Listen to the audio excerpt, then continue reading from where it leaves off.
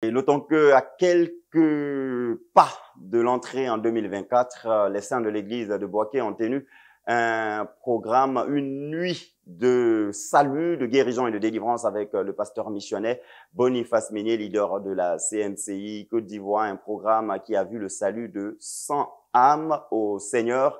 Et nous bénissons le Seigneur parce que des guérisons miraculeuses et des délivrances ont aussi marqué ce grand rendez-vous qui s'est joint donc à toutes les actions qui ont été menées au cours de l'année 2023 pour booster la conquête à la CMCI Boaké. Nous avons pu joindre euh, notre correspondant qui a recueilli les propos du pasteur Thio Kinyelman, dirigeant principal de la CMCI dans la région du Béquet basé à Boaké. Il nous dit ses actions de grâce pour tout ce que le Seigneur a accompli au cours de l'année dernière, sans manquer de partager les perspectives pour cette année 2024, suivant le pasteur Thio Kinyelman.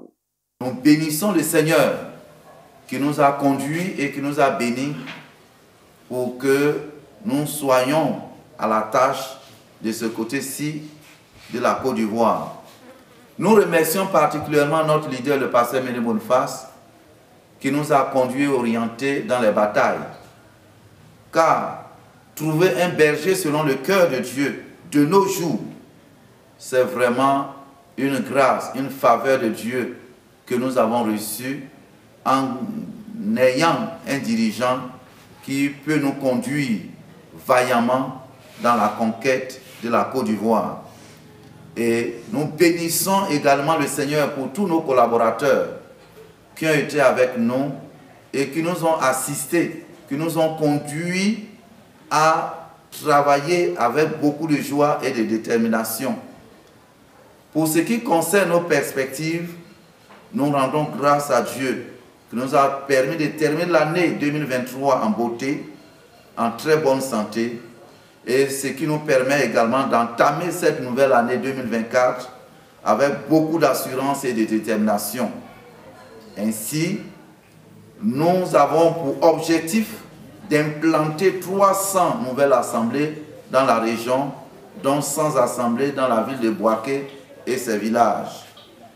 Nous comptons être 15 000 disciples d'ici la fin de l'année 2024 avec 5000 disciples dans la ville de Boaké. Nous voulons commencer la construction de notre temple sur le terrain de Kielekro en cette année, ordonner de nouveaux anciens et lancer la première édition de l'UNPJ de la région en cette année 2024.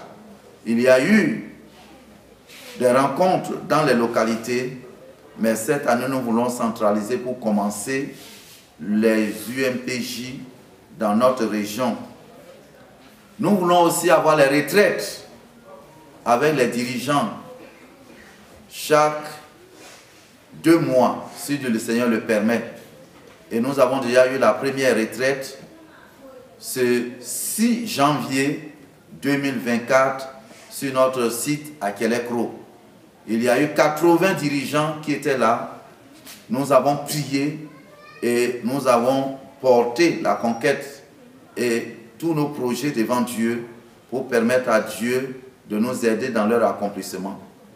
Nous remercions une fois de plus le Seigneur qui a été très bon envers nous, qui nous conduit et nous bénissons notre Seigneur pour tous nos collaborateurs qui ont été avec nous et qui sera encore avec nous cette année. Que la gloire et l'honneur reviennent à notre Seigneur. Amen.